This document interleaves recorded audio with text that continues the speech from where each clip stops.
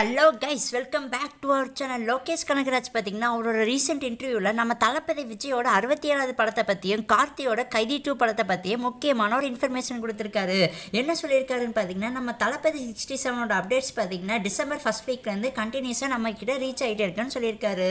அதை முடிச்சுட்டு நம்ம கார்த்தியோட கைதி டூ பற்றி என்ன சொல்லியிருக்காருன்னு பார்த்தீங்கன்னா ஒன்ஸ் நம்ம லோகேஷ் கனகராஜ் தளபதி விஜயோட சிக்ஸ்டி செவன்த் ஃபிலிமை கம்ப்ளீட்டாக டேரக்ஷன் பண்ணி முடிச்சதுக்கப்புறம் டக்குன்னு பார்த்தீங்கன்னா கார்த்தியோட கைதி டூ படத்தை வந்து ஆக்ஷன் பண்ண ஸ்டார்ட் பண்ண போகிறதா சொல்லியிருக்காங்க. அண்ட் இன்னொரு முக்கியமான நியூஸ் என்னென்னு பார்த்தீங்கன்னா நம்ம தளபதி சிக்ஸ்டி செவனோட கேஸ்ட் அண்ட் குரூப் பற்றி ஒரு முக்கியமான இன்ஃபர்மேஷன் கிடைச்சிருக்கு. அக்கார்டிங் டு ரிப்போர்ட்ஸ் இந்த படத்தில் பார்த்தீங்கன்னா நம்ம மன்சூர் அலிகான் ஆனந்த் ராஜா அண்ட் பிக் பாஸில் ஒர்க் பண்ணுற ராஜு அண்ட் மைனா பார்த்தீங்கன்னா தளபதி சிக்ஸ்டி செவனில் வந்து ஒர்க் பண்ண போகிறதா சொல்லிட்டு இருக்காங்க. அது மட்டும் இல்லைங்க டிசம்பர் ஃபர்ஸ்ட் வீக் பார்த்தீங்கன்னா இந்த படத்தோட படக்குழு படப்பிடிப்பு பார்த்தீங்கன்னா ஸ்டார்ட் ஆக போகுது. எங்கே ஸ்டார்ட் ஆக போகுதுன்னு பார்த்தீங்கன்னா கேரளா முன்னார்னு இருக்க பிளேஸில் தான் ஸ்டார்ட் ஆக போகுது. அந்த இடத்துல பார்த்தீங்கன்னா ஒரு சின்ன வில்லேஜ் செட் பார்த்தீங்கன்னா டீம் மேக்கர்ஸ் கன்ஸ்ட்ரக்ட் பண்ணி அங்கே தான் ஒர்க் பண்ண போகிறதா பேசிக்கிட்டு இருக்காங்க.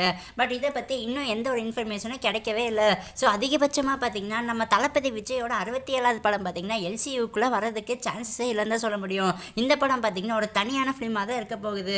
லோகேஷ் கனகராஜ் பார்த்தீங்கன்னா தளபதி சிக்ஸ்டி செவனோட ஸ்கிரிப்ட் எழுதுறதுக்கு பார்த்தீங்கன்னா எல்லா சோசியல் மீடியாஸ்லேருந்து லெஃப்ட் ஆகி டூ மந்த்ஸ் பிரேக் எடுத்திருந்தார்.